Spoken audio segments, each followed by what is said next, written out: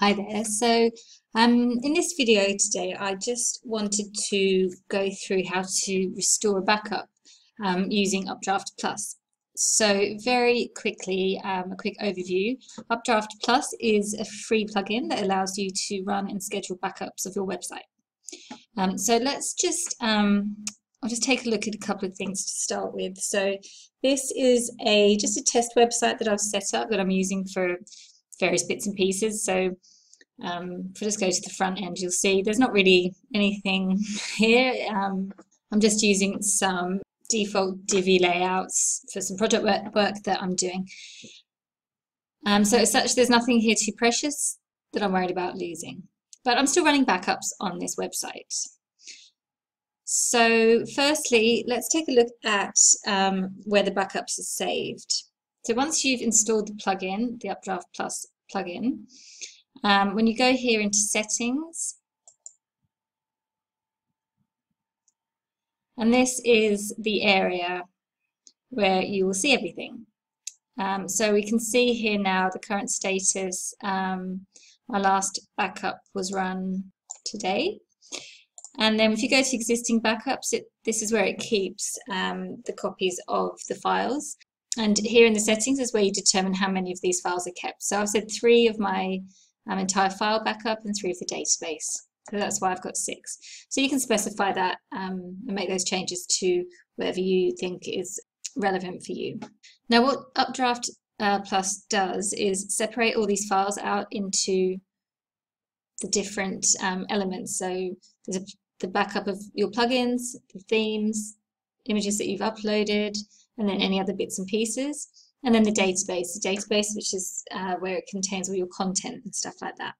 So you don't have to restore your website back in its entire entirety to a previous version. You could just roll back a plugin, for example, if, if a new version has caused a problem.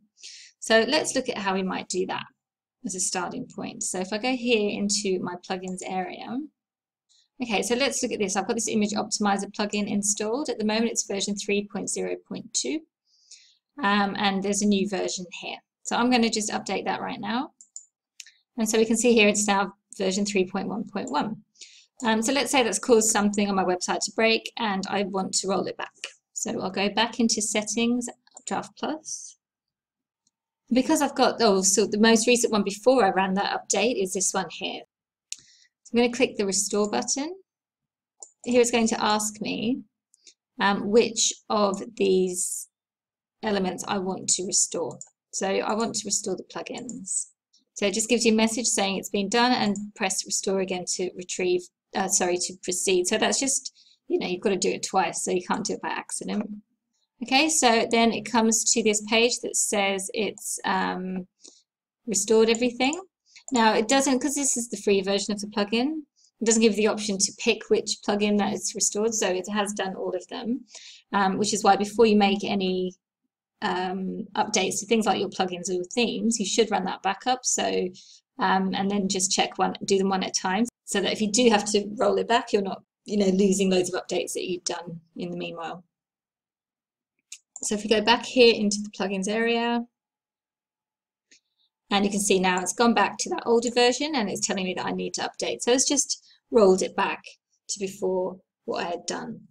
And that principle works across all those different files in the backups. So if um, I'd updated my theme and it, that, that update had broken my website for some reason, you can just choose to restore just the theme. Um, the database is here, um, but it's the same principle. Now there's a link here that you should probably click um, and it just gives you um, some understanding of how these how the restore process works and if there are any problems or risks um, that you need to be aware of.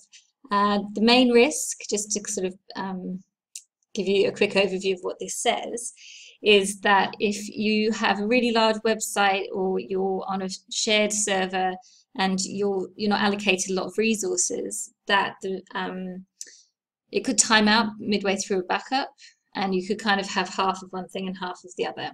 The main worry with that is to, to do with your database. Um, so just be aware that there are some very small risks, but if you do get a problem, Updraft Plus um, do have a help forum, so you could contact them and you could contact your host as well. Um, but they have set this up to, to sort of minimize those risks, and that's why they've got these separate files. So you're only doing one piece at a time rather than trying to do the whole website at once. So if you want to sort of roll back the entire website, still go in, do it, um, sorry, in here, just do one piece at a time and do the database last. And that way you're just maximizing your chances of nothing going wrong because you're not doing that restoration um, or you're breaking it up into smaller chunks of time. But essentially that's it. It's really straightforward. Um, and I hope you can see that the benefits of having these backups is that it gives you the confidence that you've got the, the content of your website there. And if in the case of anything going wrong, you can easily just uh, roll things back and then work out what, what the problem might have been before making that mistake and moving forward again.